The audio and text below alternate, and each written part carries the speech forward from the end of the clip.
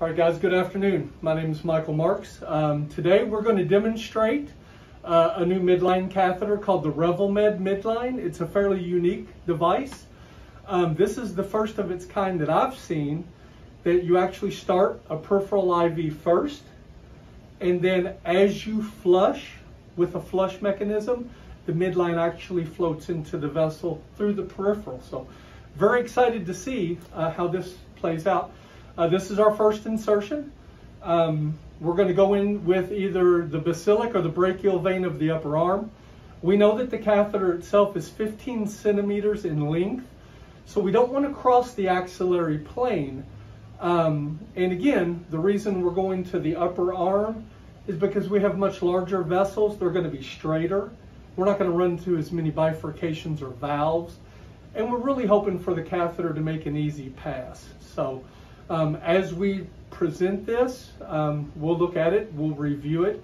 We're going to check for echogenicity, uh, flow, and ultimately for the patient's comfort. So uh, we've already scrubbed the arm. We've already prepped our patient.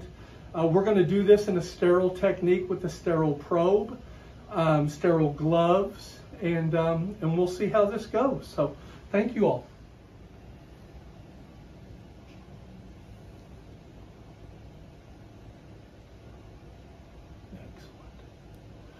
And we are in.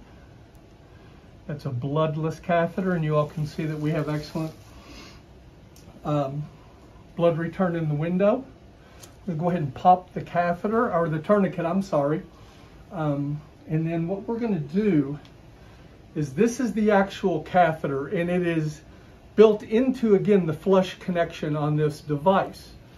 So we're gonna go ahead and retract out We've got good blood return. We're going to go ahead and hook it up. And now what we're going to do, guys, is we're going to allow blood to come back into the flush mechanism. And now we will slowly just back flush saline into the vessel. And what we have done is we have just deployed a midline into our individual. So I'm going to go ahead and flush with the rest of the saline. We'll disconnect. And what we will do, I'm just going to use this sterile towel. We'll clean our site up and we're going to go ahead and fix a dressing with this. And we're going to use Starboard Medical's Clik-FIX dressing on this. This is a foam dressing that, that works really, really well with this particular device. The dressing is very unique. This portion is going to slide under. And so what we'll do here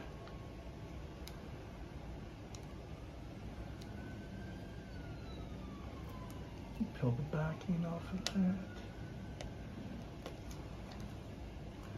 You want to center up your peripheral IV, make sure everything's sealed. This is a very interesting device here. It's a foam, it's a very soft foam, very pliable. It will be very comfortable for the patient.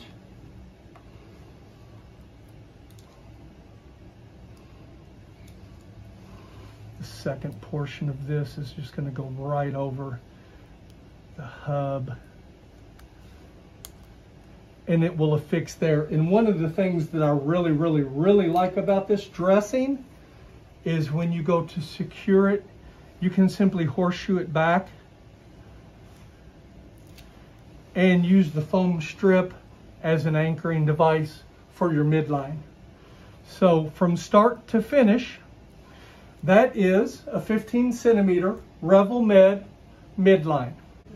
All right, guys, so our catheter has been in for a total of 29 days. We're gonna go ahead and extract the catheter out.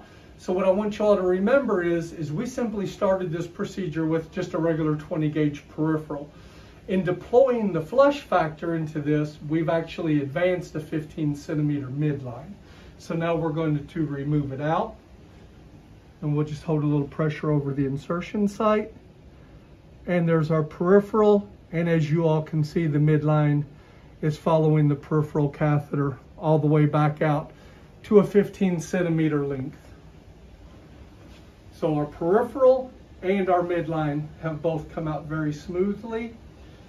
Patient tolerated the procedure well. We're just going to hold pressure on the site right now and we'll finish with the tegaderm.